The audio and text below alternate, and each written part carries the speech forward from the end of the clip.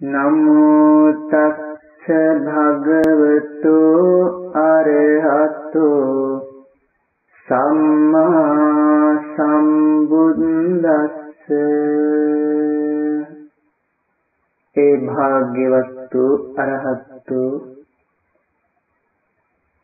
කතා කරන හැම වදනක්ම ඊටාම මෙත් සිතින්ම කතා කරන්නා වූ කතා කළ යුතු දෙය සුදුසු තැන සුදුසු වේලාවේ සුදුසු ආකාරයෙන් සිදු කරන කතා කරන සත්‍යයන් අතර ඊටාම ශ්‍රේෂ්ඨ වදන් ඇති ඊටා උත්තම මාගේ බුදු පියාණන් වහන්සේට নমස්කාර වේවා. අති උත්තමනීය 550 ජාතක පුත් වහන්සේගේ 61 වෙනි අසාත මන්ත්‍ර ජාතක දේශනාව. අසාලෝකත්තියෝ නාම වේලාතා සංවිඤ්ඤති සාරත්තාච පගම්බාච සිකී සම්බ ඝසෝ යථා තාහිත්වා පම්බ දිස්සාමි විවේක මනුබුහයන්ති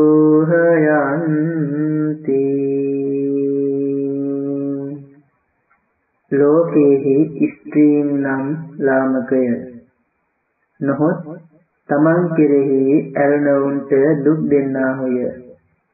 ඔවුන්ට සීමාවක් නැත. සංරක්තය ප්‍රගල්භයෙන් යුක්තය. සියල්ල කාදමන ගින්න මෙන් පුරුෂයන් විශේෂයෙන් සෙවුනාහ. ඔවුන් හැර විවේකේ වදන්නෙමි, කයිදේමි.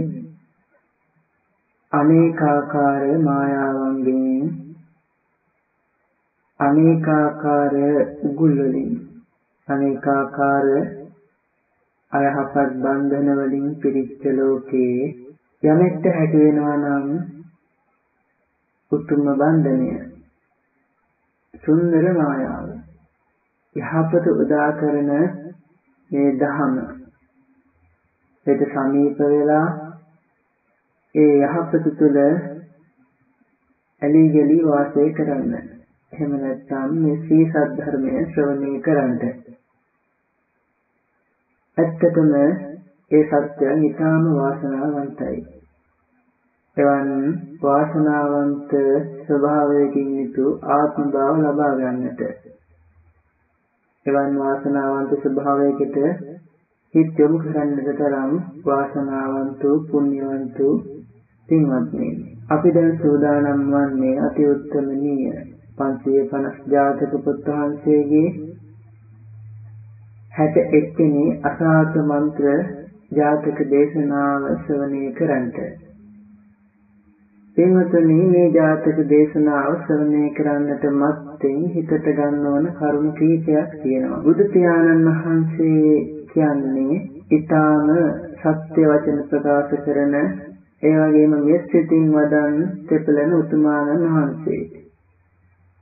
ඒ වගේම උන්වහන්සේගේ වචන තත අවිතත අනන්‍යත කියන ස්වභාවයෙන් යුක්තයි. ඒ කියන්නේ තත සත්‍යක්මයි. අවිතත අසත්‍යයක් නෙමෙයි. අනන්‍යත වෙනත් සත්‍යයකුත් නෙමෙයි. මේ දේශනා කරන දේ ඒකාන්තයෙන්ම ඒ සත්‍යමයි. ඒ වගේම අද්දෙච්ච වචනා බුද්ධා බුදු පියාණන් වහන්සේලාගේ වචන දෙකකුත් නැහැ. මේ ප්‍රකාශ කරන වචන ප්‍රකාශ කරන වේලාව අනුව විවිධ ප්‍රතිඵල ගෙන දෙනවා. මේ වේලාවන් අනුව වෙනස් වී ප්‍රතිඵල ලබා දෙන ඒ වචන කතා කරද්දී අපි දැනගන්න ඕන දේවල් කීපයක් තියෙනවා. සමහර වචන ප්‍රකාශ කරාම අයහපතක් වෙනවා. සමහර වචන ප්‍රකාශ කරාම යහපතක් වෙනවා. සමහර වචන ප්‍රකාශ කරාම අයහපත වැඩි යහපත අඩුයි.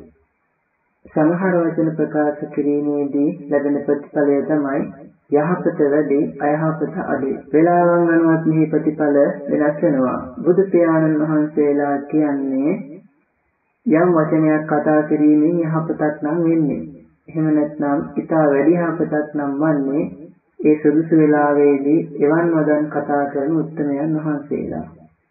මෙන්න මේ බව ඊටා හොඳින් සිහිය තබාගෙන බුදු පියාණන් වහන්සේලා කියන්නේ සුදුසු තැන සුදුසු වෙලාවේ යහපතක් හෝ ඊටා වැඩි යහපතක් බලාගෙන ඊටා මෙස්සිතින් වදන් තෙපලන උත්තමයන් වහන්සේලා කියන වග ඊටා හොඳින් සිහියේ තබාගෙන තමයි මේ ජාතක දේශනාව ශ්‍රවණය කරන්නට ඕන. පින්වතුනි සුපුරුදු පරිදි අපි ගාථාව හා එහි අර්ථය තේරුම් ගත්තා. දැන් තියෙන්නේ මෙහි වචනාර්ථ විමසා බලන්නට. වචනාර්ථ විමසා බලනකොට පින්වත්නි මුලින්ම අපිට මේ ලෝකත්‍යෝති කියන එක විමසා බලන්න වෙනවා. එහි අර්ථය තමයි මේ ලෝකේ ස්ත්‍රීන් කියන අර්ථය. වේලා තාසන්න විජ්ජති. ඒ ස්ත්‍රීන්ට කෙලස් ඉදීමක් වූ කල්හි වේලාවක් හෝ සංගමයක් හෝ සීමාවක් හෝ ප්‍රමාණයක් හෝ යන මේවා නැත කියන අර්ථය තමයි අටුවාවේ දක්වන්නේ. සාරත්තාච පගබ්භාචාති. ඔවුන්ට වෙලාවක් නැත. පංචකාම සම්පතේ ඇලුනාහු ගැලුනාහු. එසේම කාය වාක් මනෝ යන ත්‍රිවිධ අසංවරයෙන් යුක්ත බැවින් මොහු. පගබ්බ නම් යති. මොවුන් කෙරෙහි කාය ద్వාරාදියට පැමිණ සංවරයක් නම් නැත. කෑදර කපුටක සමාන කොට දක්වයි කියලා අටුවාවේ සඳහන් වෙනවා. සිතෙහි සබ්බදසෝ යතහාති මේ මෑණියන්ට ප්‍රකාශ කරනවා මෑණියනි යම්සේ ගිනි ජාලාවෙහි සිකී නම් ගණයට ගියා වූ ඒ ගින්නට සිකී කියලා කියනවා. අන්න ඒ ගින්න අසුචි ආදී වශයෙන් මේ ප්‍රභේද නැතුව පිරිසිදු දෙයද ගිතෙල් මී පැණි ආදී වූ ඒ පිරිසිදු දේද? අපිරිසිදු දේද? කැමති දේද? අකමැති දේද? යම් දෙයක් ලබයිද? ඒ සියල්ල කාදමයි. ඒ නිසා සබ්බත් කියලා කියනවා. එසේම ස්ත්‍රීහු ඇත්තෝ ගොපලු ආදී වෙත්වා. හීන කුල ඇත්තෝ හෝ වෙත්වා. හීන ක්‍රියා ඇත්තෝ හෝ වෙත්වා. රජ ආදී හෝ වෙත්වා. උසස් ක්‍රියා ඇත්තෝ හෝ වෙත්වා. උසස් පහ බවක් නොසලකා කාමාස්වාද වශයෙන් කෙලෙස් හැඟීම් ඇති වූ කල්හි යම් යම් අයකු ලබද්ද? ඒ සියල්ලන්ම සේවනය කරත්. සියල්ල කාදමන ගිනි සිදුවමින් වෙත්. එහෙයින් මෙයද? ගිනි සිදුව යම්සේද එසේයයි දත යුතුය. තාහිත්වා පබ්බජිස්සාමේති. මම ඒ පහත් වූ දුකට හේතු භූත වූ ස්ත්‍රීන් අතහැර වනයට පිවිස තවුස් පැවිද්දෙන් පැවිදි වන්නෙමි. විවේක මනු බ්‍රූහයන්ති කාය විවේක චිත්ත විවේක උපදිවේක වශයෙන් වෙන්නේ තුනයි. එයින් මේ කාය විවේකයේද හොඳයි. චිත්ත විවේකයේද හොඳයි. නමුත් මේ කියන ලද්දේ මෑණියනි මම පැවිදිව කිසුණු පිරියම් කොට අට සම්මත් උපදවා පංච අභිඥා උපදවා ගණයා කෙරෙන් කයද ක්ලේශයන් කෙරෙන් සිදුද වෙන්කොට මේ ත්‍රිවිධ විවේකයන් වඩමින් බඹලව බලා යන්නෙමි. මේ ගිහි ගෙයින් මට වැඩක් නැත. මෙන්න මේ ආකාරයෙන් ස්ත්‍රීන්ද ගරහා කරපු ඒ ප්‍රකාශයක අර්ථය තමයි මේ ආකාරයෙන් අපි දැනගත්තේ. හොඳයි පින්වත්නි දැන් අපි අර්ථය දැනගත්තා. මේ වර්තමාන කතාව හා අතීත කතාව අපි දැන් වසා බලමු. පින්වතුනි මෙහි වර්තමාන කතාව දීර්ඝ වශයෙන් නැත්නම් මේ වර්තමාන කතාව සමාන වශයෙන් උම්මාදන්ති ජාතකයේ ඉදිරියට අපිට දැක් ගන්න පුළුවන් කියලා අට කතාවේ සඳහන් වෙන නිසා. මේ වර්තමාන කතාව දීර්ඝ වශයෙන් අපි දැනගන්නේ නැහැ. වර්තමාන කතාවට අනුව මේ ස්ත්‍රියක් නිසා උකට ලී වෙලා හිටු භික්ෂුන් වහන්සේ නමක් උදෙසා මෝහඳුරට සූර්යා බඳු භාග්‍යවත් බුදු පියාණන් වහන්සේ ජේතවනාරාමයේ වැඩ වාසය කරන සමෙහි කරපු දේශනාවක් තමයි මේ වර්තමාන කතාව තුළින් අපට දැක් ගන්න තියෙන්නේ. එහෙම නැත්නම් වර්තමාන කතාව හැටියට අපට ගන්න තියෙන්නේ. ඉතින් මේ භික්ෂුන් වහන්සේ ස්ත්‍රියට වසඟව මහානකම දුර්වල කරගෙන සිටිනවා කියන ඒ දේ දැනගන්න බුදු පියාණන් වහන්සේ මේ භික්ෂුවට අවවාද කරනවා. මහාන මේ ස්ත්‍රීන් කියන්නේ බොහොම පහ බොහොම ලාමකයි. ඒ වගේම ඔවුන්ගෙන් සැපක් නැහැ. මේ ලැබෙන දුකත් එක්ක සංසන්දනය කරලා කරන ප්‍රකාශයක් විය යුතුයි. ඔවුන්ගෙන් සැපක් නැහැ කියලා ප්‍රකාශ කරනවා. බොහොම අන්තිමයි. ඉතින් මේ වගේ පහක් ගැටි ඇති ස්ත්‍රියක් නිසා කොමකටද මේ වගේ උත්තම බුද්ධ ශාසනයකට කලකිරුණේ කියලා දේශනා කරමින් බුදු පියාණන් වහන්සේ මේ අතීත කතාව මේ භික්ෂුවට දේශනා කරනවා. පින්වතුනි අතගිය දවස බරණැස් නුවර බ්‍රහ්මදත්ත කියන ඒ රාජ පරම්පරාවේ රජ කෙනෙක් රාජ්‍ය කරන කාලේ අපේ බෝධිසත්වයන් වහන්සේ ගන්ධහාර කියන රට තක්ෂිලාවෙහි ඒ බමුණු කුලයක ඉපදිලා වැඩියටපත් වෙනවා. තුන් වේදේම පරප්‍රාප්තයි. ඒ වගේම සියලු ශිල්පයන්හි කෙලවරටම පැමිණලා ඉන්නේ. ඒ නිසා දිසාපාමොක් ආචාර්ය බව මේ කුමාරයාට ලැබෙනවා. ඒ කාලයේ පින්වත්නි ඔය බරණස්නුව බමුණු කුලයක එක් පුත්‍රයෙක් උපදිනවා. ඒ ඉපදිච්ච දවසේම ඒ පුත්‍රයාගේ දෙමව්පියෝ ගින්නක් අවුල වෙලා තබනවා. ඒකනේ මෙන්න දෙන්නේ නැහැ. ඉතින් මේ පුතා වැඩිවියටපත් වුණාට පස්සේ මේ පුතාට දෙමව්පිය ප්‍රකාශ කරනවා. දරුව ඔබ ඉපදිච්ච දවසේ අපි ගින්නක් දැල්ලුවා. ඒ ගින්න අපි නිමුවේ නැහැ. ඉතින් ඔබ බඹලෝ යන්න කැමති නම් මේ ගිනි අරගෙන ගිහිල්ලා දෙවියන් නමදින් බඹලොව යන්න. ගිහි ජීවිතය ගත කරන්න කැමති නම් තක්ෂලාවට ගිහිල්ලා දිසාපාමොක් ඇඳුරුතුමා ළඟ සිල්ප හදාarලා පෞල් ජීවිතයක් සකස ගන්න කියලා මේ දෙමව්පියෝ මේ දරුවට ප්‍රකාශ කරනවා. ඉතින් මේ මානවකයාත් මට මේ කැලේට ගිහිල්ලා ගිනි පුදන එකෙන් ඇති වැඩක් නැහැ. ගිහි ජීවිතයක් සකස් කරගන්නවා කියලා මව්පියන්ට ප්‍රකාශ කරලා මව්පියන් වන්දනා කරලා ගුරු පඬුරු වශයෙන් 1000ක් අරගෙන ඒ කියන්නේ කහවණු 1000ක් තමයි මෙහි විස්තර කරන්නේ ඒව අරගෙන තක්සලාවට ගිහිල්ලා සිත් සතර හදාලා ආපහු එනවා. ඉතින් මේ මව්පියන් කල්පනා කරන්නේ බොහොම වෙනස් විදිහකට, උත්තම විදිහකට. ඒ මව්පියන්ගේ කැමැත්ත තමයි මොහු ගිහිගේ වාසය නොකර වනයේට යවන එක. තමන් ළඟ තබාගෙන සෙනෙහස විඳින්මින් උපස්ථාන ලැබෙමින් මේ දරුවාව පෞල් ජීවිතයක් තුළ සිර කරන්නට මේ දෙමාපියන්ගේ කැමැත්තක් නැහැ. දෙමාපියන්ගේ කැමැත්ත වනයේට යවන්න. නමුත් මොහුගේ කැමැත්ත ගිහිගේ වාසයක්. ඉතින් මේ දෙමාපිය ඔහුට ඒ අර වනයේට යීමේ කැමැත්තෙන් මොහුගෙන් අහනවා. දැන් මේ මෑණියෝ අහනවා. ගිහිගේට බැලෙන්නේ විශේෂයෙන් මේ කාන්තාවන් නිසා කියන හැඟීම කාන්තාවක් වෙච්ච මේ මවට අවබෝධ වෙලා මේ පුත්‍රයාගෙන් අහනවා දරුව ඔබ අසාත මන්ත්‍රය ඉගෙන ගත්තද? මොකද මේ මහන්න තව හේතුවක් තමයි මේ මෑණියෝ අවබෝධ කරගන්නවා තමන්ගේ පුත්‍රයාගේ ගුරුතුමා බොහොම නැනවත් අසාත මන්ත්‍රය කියලා එකක් නැති වුණත් මම මේ ආකාරයෙන් කියලා ඇහුවොත් ඒක තේරුම් ගන්න ගුරුතුමා දක්ෂයි කියලා අවබෝධ කරගෙන මේ දරුවගෙන් අහනවා දරුවෝ ඔබ අසාත මන්ත්‍රය ඉගෙන ගත්තද? ඉතින් මේ දරුවා කියනවා එහෙම එකක් නම් මට ඉගෙනුවේ නෑ මම ඉගෙන ගත්තේ නෑ කියලා. ඒ වෙලාවේ මෑණියෝ අහනවා ඔබ අසාත මන්ත්‍රය හැදෑරුවේ නැත්නම් මොනවද ඉගෙන ගත්තේ? ඔබ ඒකවත් ඉගෙන ගත්තේ නැද්ද කියලා ආපහු යවනවා ගුරුතුමා ළඟට ගිහිල්ලා අසාත මන්ත්‍රය ඉගෙනගෙන එන්න කියලා. පින්වතුනි ඒ දිසාපාමොක් ඇඳුරුතුමාගේ මව බොහෝ මහලුයි. වයස අවුරුදු 120යි. ඉතින් මේ ඇඳුරුතුමා කුමන කාර්යයක් තිබුණත් තමන්ගේ අතින් ඇයට උපස්ථාන කරනවා.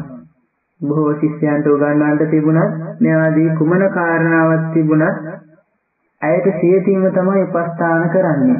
ඒ ආහාර කවන එක, නාවන එක, මෙයාදී සියලුම කටයුතු මේ ගුරුතුමා තමන්ගේ අතින්ම කරනවා.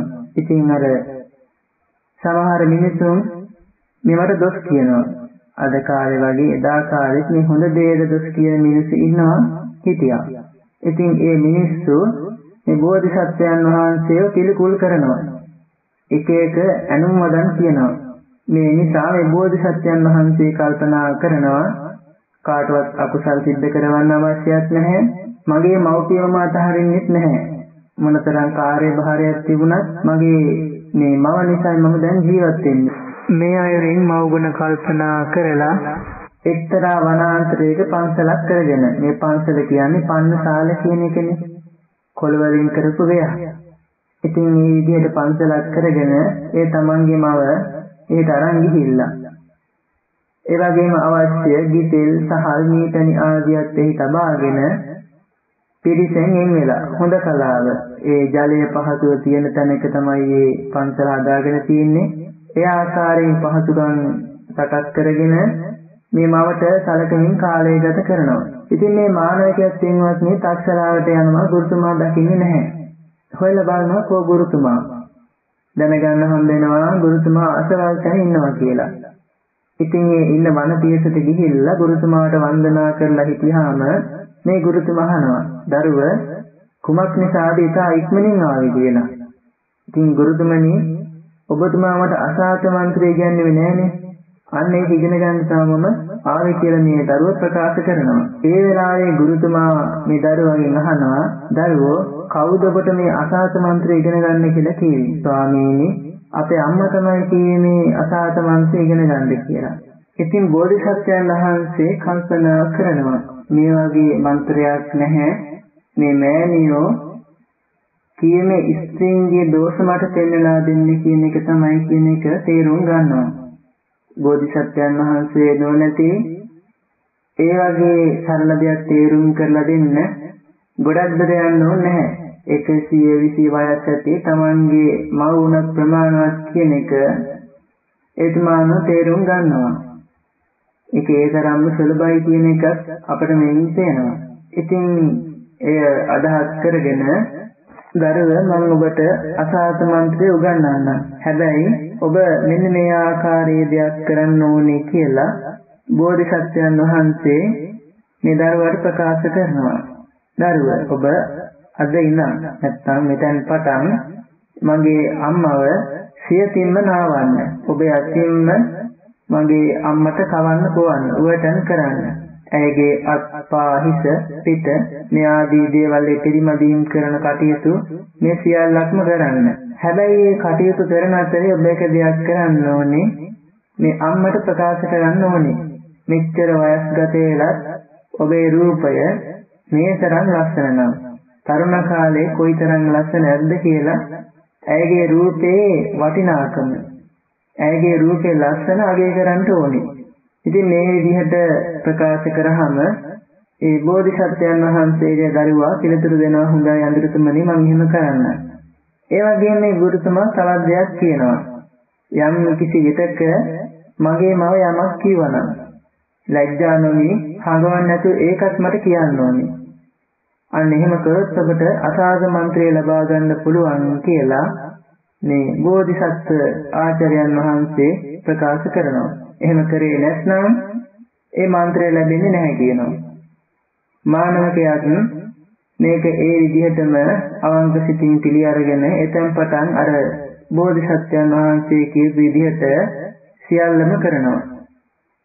පින්වතුනි දැන් මේ විදිහට නාවන අතරේ කවන පොවන අතරේ ඇඟ පිළිවැඳීම් කරන තෙල් දාන ආදී කටයුතු කරන අතරේ මෙහෙම කියද්දී අවුරුදු 120 වයසේ පසුවන මේ මෑණියන්ට අදහසක් ඇති වෙනවා. මේ දරුවා මං ගැන රාගසිතක් ඇති කරගෙන ඉන්නේ. ඉතින් මේ දරුවා මට කැමතියි. මේ ආකාරයෙන් හිතලා මෑඩත් රාගය පහළ වෙනවා. ඉතින් ඒ රාගය පහළ වෙච්ච සිතින් මේ දරුවාගෙන් දවසක් අහනවා ඔයා මට කැමතිද? මේ තරුණයා ප්‍රකාශ කරනවා ඔව් මං කැමතියි. නමුත් ඉතින් මගේ ගුරුතුමාගේ බව නිසා මං ගරු කටයුතු පුජ්‍යලෙක් හැටියට ඔබතුමියට සැලකනවා. ඒ හැර මොකුත් මගේ බලාපොරොත්තුවක් නැහැ කිව්වහම මේ මම ප්‍රකාශ කරනවා ඉතින් ඔයා මට කැමති නම් මගේ පුතා මරන්න කියලා. ඉතින් ඒ වෙලාවේ සිසුව ප්‍රකාශ කරනවා මෑණියනි මම ගුරුතුමා ළඟ කොච්චර ශිල්ප හදාරුවාද. ඉතින් එහෙම සිත් හතර හදාරලා මේ කෙලෙස් මාත්‍රයක් නිසා මම කොහොමද ගුරුතුමා මරන්නේ? ඒ වෙලාවේ මෑණිය ප්‍රකාශ කරනවා ඔබ මාව අත්හරින්නේ නැත්නම් මට පුළුවන් ඔහොම මරන්න කියනවා. පින්වතුනි මේ ජාතක අසුආවේ දක්වනවා බලන්න ඉතින් මේ ස්ත්‍රිය කියන්නේ මෙන්න මේ තරම්ම වංක පිරිසක්. පහත් පිරිසක්. අන්තිම පිරිසක්. මොකද මෙබඳු වයසේ සිටියේදී මේ රාගසිත ඉපදුනාට පස්සේ ඒක වළක්ව ගන්න බෑ. රාගසිත උපදව ගන්නවා. තමන්ගේ මෙබඳු උපකාරක පුත්‍රයා මරන්නත් කැමති වෙනවා. ඉතින් මේ සියලු පුවත් මානවකතුමා බෝධිසත්වයන් වහන්සේට ප්‍රකාශ කරනවා. ඉතින් බෝධිසත්වයන් වහන්සේත් මේ තරුණයාට කියනවා බොහොම හොඳයි ඔබ මේ බව මට ප්‍රකාශ කරපේක. එහෙම ප්‍රකාශ කරලා මේ බෝධිසත්වයන් වහන්සේ තමන්ගේ නෑණියන්ගේ ආයු ප්‍රමාණය බලනවා. තව කොච්චර කාලද ජීවත් වෙන්න තියෙන්නේ. තේරුම් යනවා පින්වත්නි අදම තමයි ජීවත් වෙන්න දින අන්තිම දවස. අදින් පස්සේ ජීවත් වෙන්නේ නැහැ. ඒ කියන්නේ ආයත ඉවරයි. කොයි ආකාරයෙන් සිටියත් මේ යන්නට යෙදෙනවා. ඉතින් ඒ නිසා මේ මානවකයාට ප්‍රකාශ කරනවා මානවකෙන්න අපි බලම් පරීක්ෂා කරලා කී ඇත්තද කියලා. මේ විදිහට ප්‍රකාශ කරලා බිම්බුල් ගහක් කපලා ඒ තමන්ගේ ප්‍රමාණයටම දී වලින් රූපයක් කරලා හිසේ සිට පොළවගෙන තමන් නිදන තැන ඒ තමන්ගේ ඇඳේ නිදාගන්න විදිහට මේ රූපය තබනවා. එහෙම තබලා ඒ බෝධිසත්වයන් වහන්සේ නිදන් ඉන්න තැනයි මෑණියන් ඉඳන් ඉන්න තැනයි මේ තැන් දෙක යා කරලා කඹයක් බඳිනවා. ඉතින් මේ විදිහට කඹයක් බඳලා බෝධිසත්වයන් වහන්සේ ප්‍රකාශ කරනවා මෑණියන්ට කියන්න මේ කඹය අල්ලගෙන ගියොත් එහෙම බෝධිසත්වයන් වහන්සේ ඉන්න තැන දැනගන්න පුළුවන් කියලා ඒ මාව මරන්න යොදවන්නේ කියලා. ඉතින් මේ අතයටියක් ගිහිල්ලා ඒ මවට පොරවක් අතට දීලා කියනවා මෙන්න මේ කඹේ කෙළවර වෙන තැන තමයි ඔබගේ පුත්‍රයා ඉන්නේ. ඉතින් මේ රැහන අල්ලගෙන ගිහිල්ලා මේ පොරවෙන් කොටලා ඔහුව මරන්න කියලා මේ මෑණියන්ගේ අතට පොරවක් දෙනවා. ඉතින් මෑණිය වහනවා ඔබ මාව අතහරින්නේ නැහැ නේද? එයාමාව අතහරින්නේ නැහැ නේද කියලා ප්‍රකාශ කරාම මේ මානවකයා කියනවා මම මොකටද ඔබ අතහරින්නේ? ඉතින් ඈත් විශ්වාස කරලා පොරව අරගෙන වේවුලමින් දැන් නැගිටලා වේවුල වේවුලාම දැන් වයසයිනේ. ඉතින් ඔය ආකාරයෙන් වේවුලමින් පොරවත් අරගෙන අර රැහන් සලකුණ ඔස්සේ ගිහිල්ලා අර පිරිමේ අත ගන්නවා. ඒ වෙලාවේ මගේ පුතා වෙන්නේ නැති කියලා අදහස් ඇති කරගෙන අර දැව රූපේ බෙල්ල තියෙන තැනට ඒ කියන්නේ බෙල්ලට එක පහරින්ම මරන්න ඕනේ කියලා මේ පොර උස්සලා ලොකු පහරක් දෙනවා. නමුත් මේ ගෙලට ඒ පොර පහර වදිද්දීම පින්වත්නි තාංගල සද්දයක් තමයි එන්නේ. ඒ සද්ද ඇහිච්ච මේ මව තේරුම් ගන්නවා මේ පුතා නෙමෙයි. මාව රැවටීමකට ලක් වුණා කියලා. ඒ වෙලාවේ මර බෝධිසත්වයන් වහන්සේ පැත්තක ඉඳලා එළියට ඇවිල්ලා අහනවා මොකක්ද මේ කරේ කියලා. ඇයටත් ඇතිවෙච්ච සංවේගයට එතනම මිය යනවා. පින්වත් සංවේගයට මිය යනවා කියලා කිව්වට ඒ සංවේගයත් සමගම ඇගේ ආයසත් ඒ මොහොතේම ඉවරයි. ඒ නිසා ඇය මිය යනවා. ඇය පින්වත්නි එදා පන්සලේ නිදාගෙන හිටියා කොහොමත් ඔය වෙලාවට මිය යන්න ඕනෙමයි. බෝධිසත්වයන් වහන්සේ ඇය මිය ගිය බව දැනගෙන මනසිර පිළිබඳ ඒ කරන්න ඕන කටයුතු සිදු කරනවා. ඒ කියන්නේ දරසායක් කරලා ඒ ආදාහනේ කටයුතු කරලා වනමල් වලින් පූජා කරලා ඇගේ ගුණ සිහිපත් කරලා මේ මානවකයත් එක්කගෙන පන්සලට ඇවිල්ලා. ඒ පන්සල දොරටුවේ ඉඳගෙන මේ දරුවට ප්‍රකාශ කරනවා දරුවෝ අසාත මන්ත්‍රය කියලා වෙනත් මන්ත්‍රයක් නැහැ. අසාත කියලා කියන්නේ ස්ත්‍රීන්ට. ඔබ මායක ඔබගේ මෑණියන් විසින් එළිය මේ අසාත මන්ත්‍රය ඉගෙන ගන්න කියලා මේ ස්ත්‍රීන්ගේ දෝෂ ඔබට උගන්වන්නට. දැන් ඉතින් මේ මාගේ මෑණියන්ගේ මරණයෙන් පස්සේ ඔබට තේරෙන්නේ නැති මේ ස්ත්‍රීන් කොයිතරම්නම් දෝෂ වලින් යුක්ත පිරිසක්ද කියලා. බොහොම වංක බොහොම පහත් පිරිසක් කියලා මේ කාරණේම ඔබට දැනගන්න පුළුවන්. කියලා මුත ඒ විදිහට ස්ත්‍රීන්ගේ දෝෂ පෙන්නලා අවවාද කරලා පිටත් කරලා හරිනවා. ඉතින් මානවකතුමා ගුරුතුමාලා වැල දෙමාපියන්ගේ සමීපයට ගිහිල්ලා දෙමාපියන් වන්දනා කරලා ඉන්න වෙලාවේ මේ මම අහනවා දරුවෝ අසාත මන්ත්‍රය ඉගෙන ගත්තද? මෑණියනි එසේය. දැන් ඉතින් ඔබ කුමක්ද කරන්නේ? පැවිදි ගිනි පුදනවාද නැත්නම් ගිහි ගිහි වාසය කරනවාද? මානවකයා ප්‍රකාශ කරන මෑණියනි මං විසින් දැන් ප්‍රත්‍යක්ෂ වශයෙන්ම ස්ත්‍රීන්ගේ දෝෂයන් දැක්කා. ඒ නිසා ගිහි ජීවිතයෙන් මට වැඩක් නැහැ. මං පැවිදෙනවා. ඒ පැවිදෙනවා කියන්නේ තමන්ගේ අදහස ප්‍රකාශ කරමින් කරන ගාථා දෙකක් තියෙනවා. ඒන් එකක් තමයි මෙහි අපි මාතෘකාව වශයෙන් දේශනා කරන්නේ. පින්වතුනි ඒ ගාථා දෙක සහ අර්ථ අපි නැවතත් විමසා බලන්නට අවශ්‍යයි. ආහාරයක රසවත්ම කොටස වගේ මේ ගාථා දෙක තුළ තමයි ඊටාම රජගත් හා රසවත් අර්ථයන් ගැඹෙලා තියෙන්නේ. ඒ නිසා අපි මේ ගාථා දෙක හා අර්ථ දෙකත් විමසා බලමු. ආසාලෝකිත්තියෝ නාම වේලාතා සංවිඤ්ඤති සාරත්තාච පගබ්භාච සිකේ සම්බ ඝසෝ යථා තාහිත්වා පබ්බජිස්සාමි විවේක මනුග්‍රහයන්ති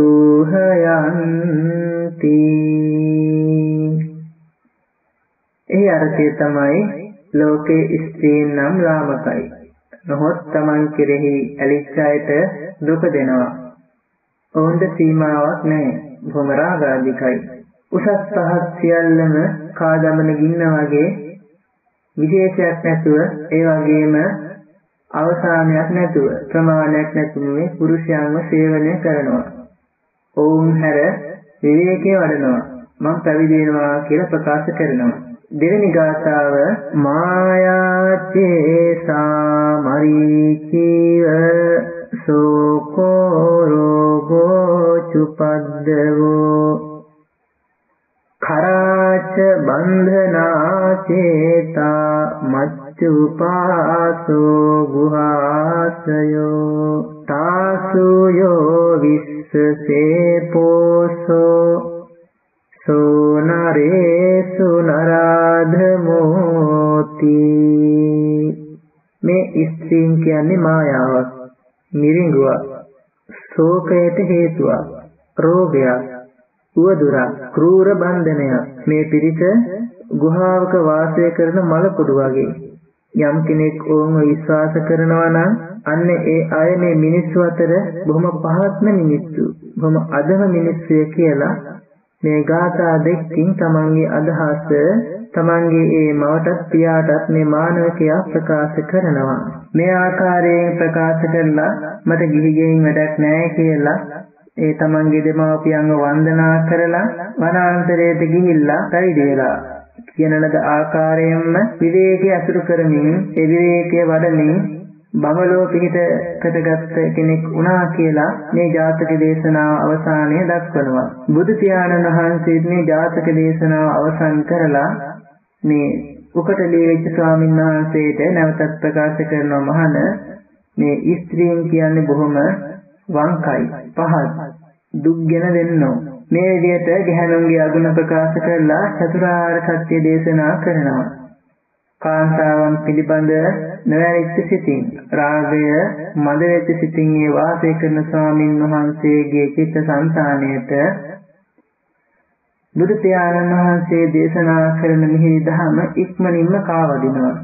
පින්වතුනි, ඒ දේශනාව කෙලවර ඒ වික්ෂුන් වහන්සේ දහසක් නයින් ප්‍රතිමන්විත අති උත්තමනීය සෝවාන් ඵලෙහි පිහිටනවා සාදු කියලා අපි ඒ උත්තම ස්වභාවයත් අනුමෝදන් වෙමු. ඒ පිළිබඳ සතුට වෙමු. බුදුරජාණන් වහන්සේ අවසානයේ මේ අනුසන්දි ගලපලා ජාතක දේශනාව නිම කරනවා. එසා මේ පින්වත්නි මේ තරුණයාගේ මා වෙන්නේ එසා මේ බද්ධාකාපිලානි මහරහත් තෙරණිය ඒ වගේම පියතුමා වෙන්නේ මේ ශාසනයේ සුතහාංගදර භික්ෂූන් වහන්සේලා අතර අග්‍ර අනුබුදුවරයෙක් බඳුයයි ඒ ත්‍රිපිටකයේ දක්වා තිබෙන මහා කාශ්‍යප මහරහතන් වහන්සේ. ඉතින් ඒ දෙන්නාගේ පුත්‍ර වූ එහෙම නැත්නම් මේ ගුරු උතුමාගේ අතවැසියා වූ තනත්තා තමයි මේ සමයේහි ධර්ම භාණ්ඩාගාරික ආනන්ද ස්වාමීන් වහන්සේ.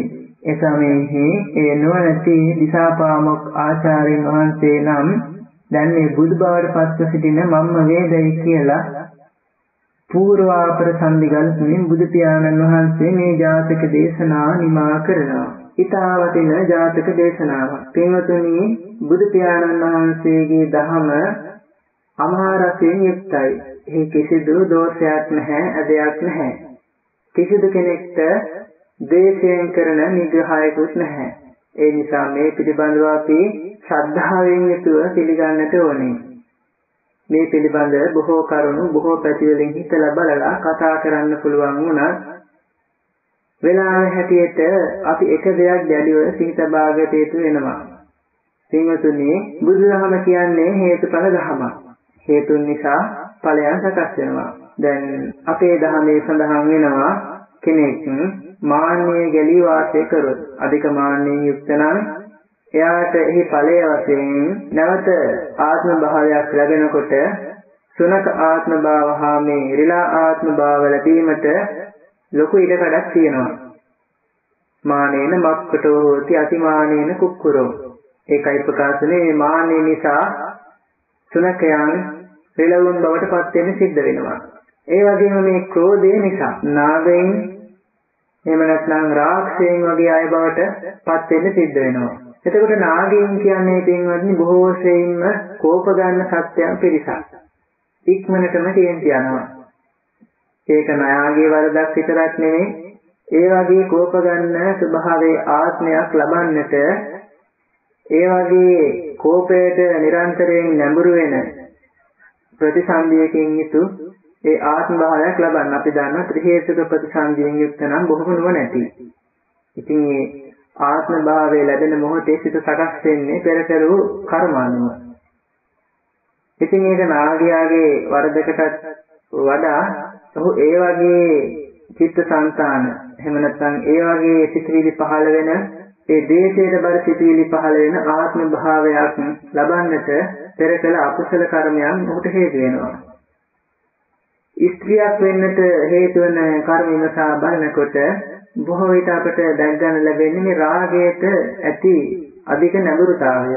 පරදාර සේවනය කරපු ඇත්තොත් ඒ අපාය ආදී දුක් විඳලා ලෝකුම නරකේ ආදී තැන්වල ඉපදිලා ඒ වගේම තිරසං ආත්ම භාවලත් ඒ අකුසලයේ බරපතල කරන අනුව ඉපදිලා ওই නපුංසක ආත්ම භාව ආදී ලබන්නත් හේතු වෙනවා අවසානයේ ස්ත්‍රී ආත්ම භාවකවා පරදාර සේවනයේ පාක වශයෙන් ලැබෙනවා ඒ නිසා අපි තේරුම් ගන්න ඕනේ බුදු පියාණන් වහන්සේ මේ රාගය අගය කරෙත් නැහැ ද්වේෂය අගය කරෙත් නැහැ රාගයට වඩා දේශය නිවන පැත්තට එහෙම නැත්නම් මේ පටිගිය නිවන පැත්තට යම් බරබවක් තිබෙනවා කියලා දේශනා කරත් දේශයත් බුදු පියාණන් වහන්සේලා අගය කරේ නැහැ. ඒ නිසා අපි මෙහිදී කාන්තා පාර්ශවය ගැන දේශයක් ඇති කරගන්න නේ බුදු පියාණන් වහන්සේ මේ දේශනා කරන්නේ ඒක තමයි සැබෑ ස්වභාවය.